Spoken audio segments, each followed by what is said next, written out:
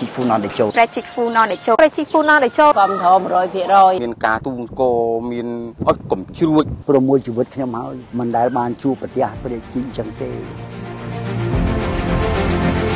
ខ្ញុំ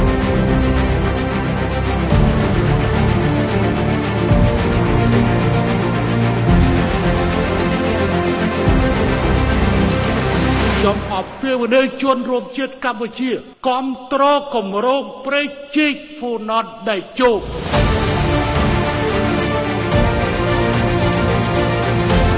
ធ្វើយ៉ាងណាឲ្យកម្ពុជា មានច្រកដើម្បីដកដង្ហើមខ្លួនឯងពង្រឹងសេដ្ឋកិច្ចយើងតាមរយៈការកសាងនៅព្រែកជីកពូដតនេះអបអរសាទរប្រែកជីកហ្វូណនតេជោនឹងលេចរូបរាងនៅពេលខាងមុខនេះហើយ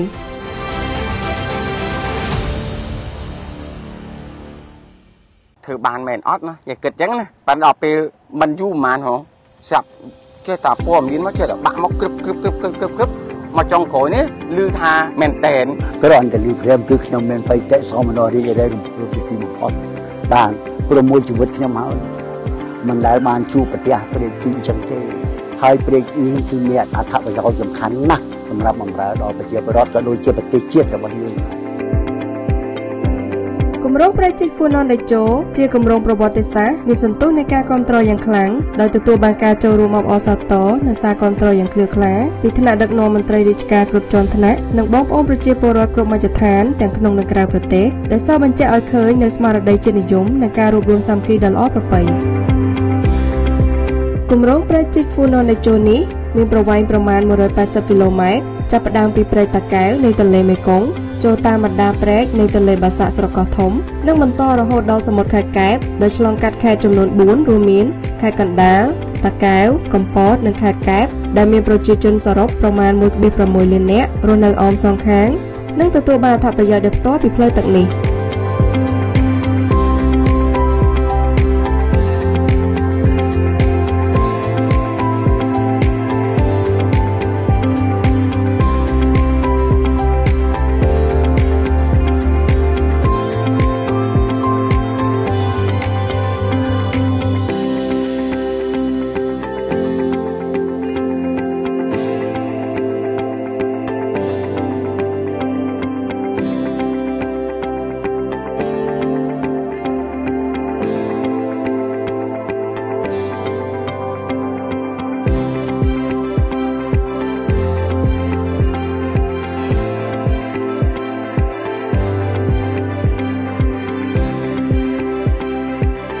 ឃើញថាកម្រងមួយហ្នឹងជួយសម្រួលដល់សេដ្ឋកិច្ចយើងច្រើនតាក់ទងការដឹកជញ្ជូនតាមផ្លូវទឹកពេលយើងជីកព្រែកទៅគឺយើងអត់ត្រូវការពឹងពាក់គេទៀតអញ្ចឹងយើងជាក់ស្ដែងពេលដែលយើងដឹកជញ្ជូនតាមកំពង់ផែស្វយ័តភ្នំពេញផ្ទាល់ទៅផែ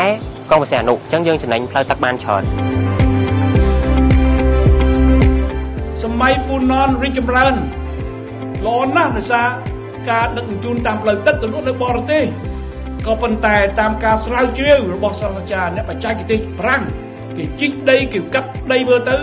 ថាយើងបានបោះបង់ប្រៃជីកយើងនេះរវាងសតវត្សទី5ឬទី6អញ្ចឹងប្រៃជីកពេលយើងនិយាយ180គីឡូម៉ែត្រនេះ គឺមិនមែនកម្ពុជាជីកព្រែក180គីឡូម៉ែត្រទេ គឺពង្រីកទឹកឲ្យបាន100ម៉ែត្រព្រែកដែលមានស្រាប់ដែលប្រើប្រាស់រាប់ពាន់ឆ្នាំទៅហើយអញ្ចឹងសម័យដៃជោខ្មែរធ្វើបានសម័យធិបតីក៏ខ្មែរធ្វើបានដែរ